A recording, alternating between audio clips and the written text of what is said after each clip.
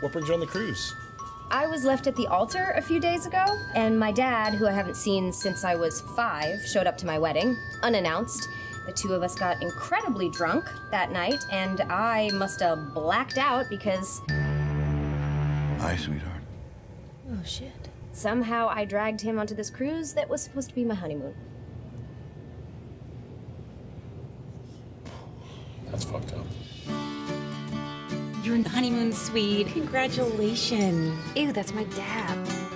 I'll be back in the office on Thursday. I'm leaving early because I don't need a vacation. Rachel.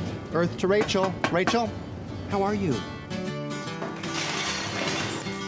I'm fine.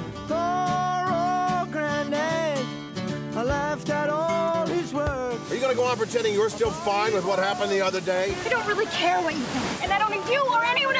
worrying about me. She hates me. Frankly, I can't blame her. I've been a therapist now for four months, so I want to give you my professional opinion for free. It's all your fault. Thank you.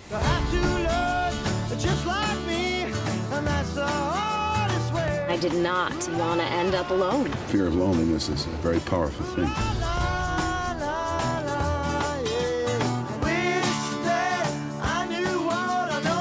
You were better without me there.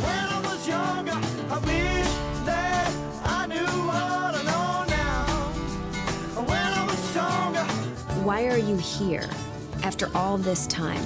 Why now? Rachel! Rachel! Rachel!